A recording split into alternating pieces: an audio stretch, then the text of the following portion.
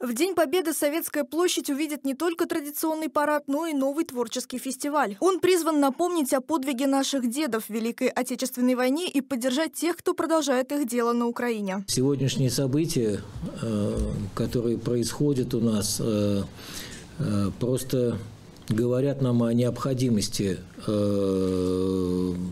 воспитания да, нашего подрастающего поколения, молодежи.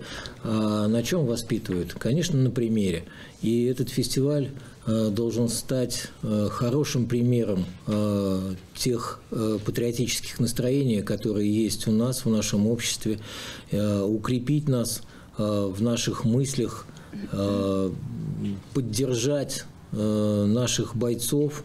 Фестиваль разделен по двум направлениям. Первое – вокальное. Репертуар исполнителей не планируют ограничить исключительно песнями Великой Отечественной. Организаторы будут рады услышать и патриотические произведения о современных событиях. То же касается и второго направления конкурса. Чтецов приглашают выступить со стихотворениями известных поэтов и продекламировать свои собственные. Возрастных ограничений нет. Ждут как малышей до 8 лет, так и пенсионеров. Однако, чтобы выступить на фестивале, нужно пройти отбор. Участник представляет э, на суд жюри э, одно произведение в своем исполнении в форме видеозаписи.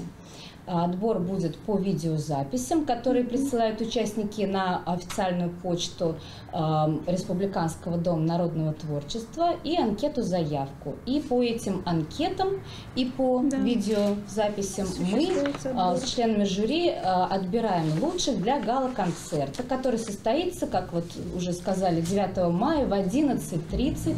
В будущем фестиваль планируют сделать всероссийским. В республике его организаторами выступили Минкульт Мордовии и Республиканский дом народного творчества. Ирина Радайкина, Александр Овчинников. Народные новости.